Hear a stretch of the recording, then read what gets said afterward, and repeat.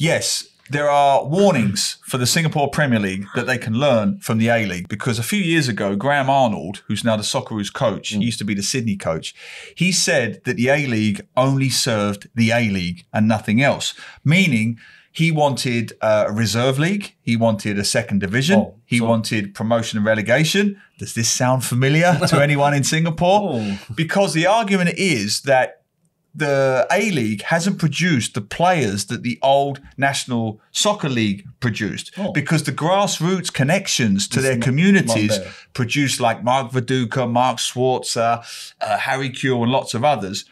But that got lost when the A League started. And you can kind of make that argument with Singapore a little bit that since the Malaysia Cup and there's a splintering of the communities and the connection to football, the Singapore Premier League is not producing players as regularly as the Malaysia Cup days, and the A League is not producing players mm. of the quality of the National Soccer League, even though the National Soccer League was semi professional mostly. Yeah. And now the A League is professional. So that's the similarity.